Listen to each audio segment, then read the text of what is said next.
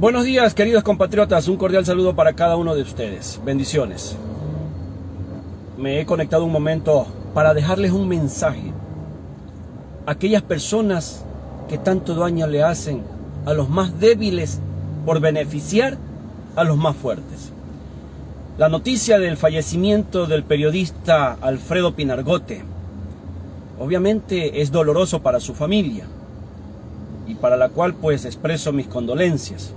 Porque yo siempre digo, jamás le desearé el peor o lo peor, o peor la muerte, ni a mis enemigos, a nadie. Para todos siempre les digo que Dios los bendiga, sean que estén alineados o no a una misma ideología. No podemos ser personas que juzguemos y desearle mal a nadie por no pensar iguales. Pero lo que sí es cierto, el mensaje que nos deja la partida de un periodista como Alfredo Pinargote, que tanto defendió a esas élites de poder, que tanto defendió a ese grupo de poder, que tanto defendió a aquellos que pautaban sumas millonarias para los medios informativos y que siguen pautando fortunas millonarias para algunos periodistas que son lacayos de la sociedad ecuatoriana. Este mensaje es claro para esos periodistas que defienden a toda costa los bolsillos de la burguesía, los bolsillos de las mafias políticas, los bolsillos de los políticos corruptos que solo empobrecen una nación y destruyen la economía. El mensaje es claro. Se fue Alfredo Pino Argote. Pregunto yo, ¿acaso en esa caja, en esa tumba donde va a descansar, ingresará el dinero que recibió. Allí ingresará el carro que compró, la finca, la casa.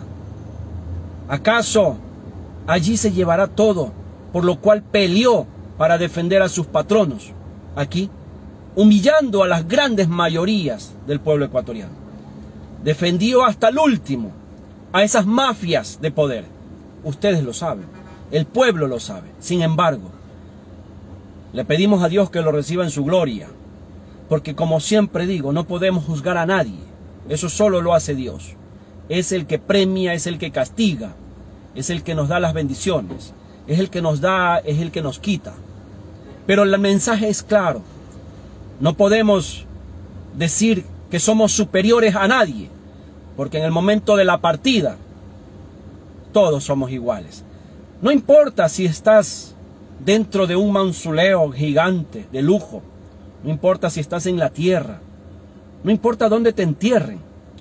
Igual nuestro cuerpo es polvo y al polvo volverá. Esa es la realidad.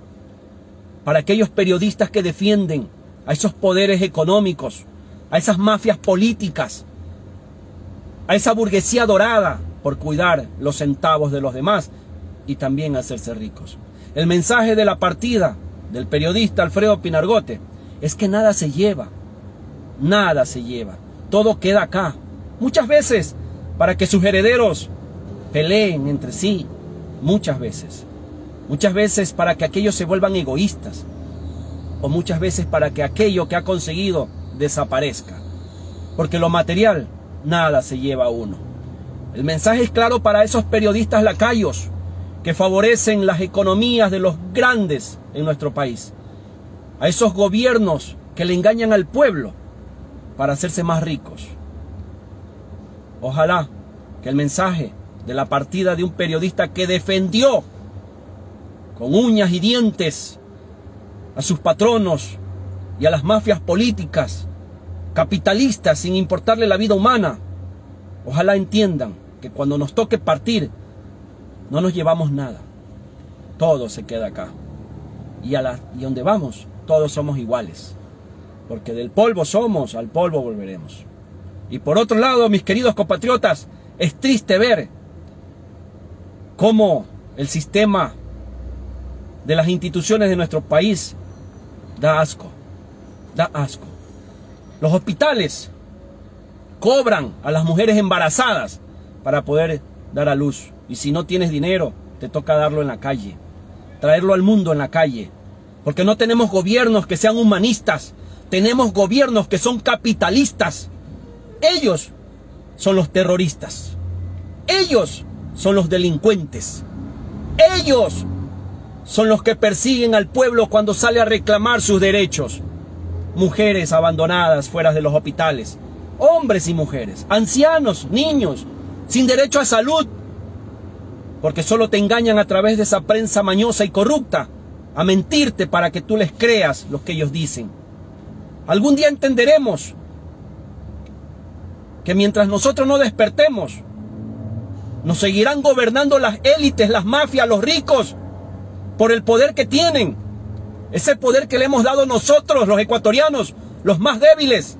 Y digo débiles, porque ellos se han aprovechado de nosotros. Pero en realidad somos los más fuertes. Porque si nosotros tomamos la decisión de levantarnos y levantar nuestra voz, esas torres caerán. Esas mafias caerán. Esos ricos que, se han, que han utilizado al pueblo ecuatoriano caerán. Esos periodistas lacayos caerán cuando el pueblo y las bases se muevan de verdad. Ese es mi mensaje. O despertamos ahora o callaremos para siempre viviendo en la esclavitud de cuatro o cinco sinvergüenzas y de las familias que nos empobrecen, de esas familias ricas, de esas malas familias ricas. Porque hay familias que han llegado a tener sus bienes a punta de esfuerzo, sacrificio y valorando el trabajo de aquellos que les colaboran en ese duro día a día. Hay grandes familias que sí saben el sufrimiento de sus trabajadores y extienden esa mano para que ellos también progresen. Pero esas familias son muy pocas.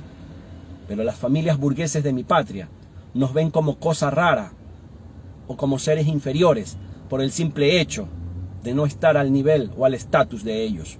Por eso nos ven y nos verán como esclavos, como peones. Pero esa realidad tiene que cambiar. Este es el mensaje claro. Si estás de acuerdo conmigo, compártelo. Y si no estás de acuerdo conmigo, respeto tu opinión, respeta la mía. Pero luchemos por un objetivo, ser un país libre de esclavitud y que haya igualdad en cada sector de nuestro querido Ecuador. No podemos seguir fomentando que otros se hagan más ricos a costillas del pueblo más sencillo. Bendiciones y que tengan un excelente fin de semana.